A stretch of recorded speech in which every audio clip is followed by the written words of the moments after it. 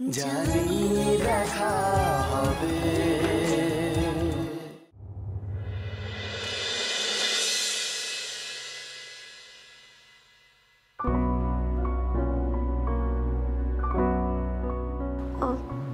তোমার কি তোমার কি মুড অফ বৌদি ভাই?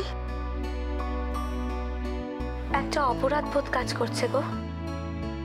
মনে হচ্ছে আমি এমন একটা ভুল করেছি। যার কোনো ক্ষমাই হয় না। মানে? কি হয়েছে? তুমি আমার কে দিতিয়া তোমাকে তো কোনোদিন আমি নিজের ছোট বোনের থেকে কম কিছু ভাবিনি। আমি যেমন তোমায় ভালোবাসি সেরকম শাসন করার অধিকারও নিশ্চয়ই আমার আছে।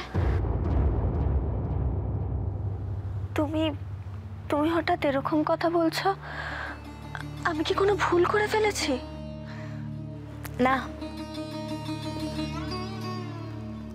ভুলটা আমার তিতিয়া। যে আমি তোমায় বিশ্বাস করেছিলাম তিতিয়া। আমি ভেবেছিলাম তুমি হয়তো তুমি হয়তো এমন কিছু করবে না যাতে এ বাড়িতে আবার তুমি আমায় খুব বকো যা খুশি বলো। কিন্তু আমার সাথে এভাবে কথা বলো না প্লিজ। বকে তো ছিলাম আগের দিন বারণও করেছিলাম তোমায়।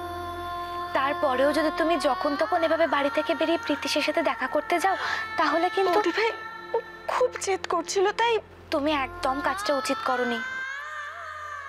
জানি। কিন্তু কিন্তু কি দিদিয়া? তুমি একবারও ভেবে দেখেছ বাড়িতে যদি এটা জানাজানি হয়ে যেত? সবাই যদি এটা জানতে পারতো যে তুমি বাড়িতে নেই তুমি যদি ঠিক সময় না ফিরতে তাহলে কি হতো? তোমার না সামনে পরীক্ষা। তুমি কি ভেবে এত বড় একটা ঝুঁকি নিলে তিতিয়া সরি এই কথাটা আগে বলতে মানাতো। এখন আর এটা আমার শুনতে ভালো লাগে না। বৌদি ভাই তুমি আমার প্রবলেমটা বুঝতে পারছ না। ও মাঝে মাঝে এমন অবুঝ হয়ে যায়। অবুঝ হয়ে গেলে তাকে বোঝাও দিতিয়া। ওকে এটা বোঝাও যে বিপদটা তোমার একার না ওরও হতে পারে।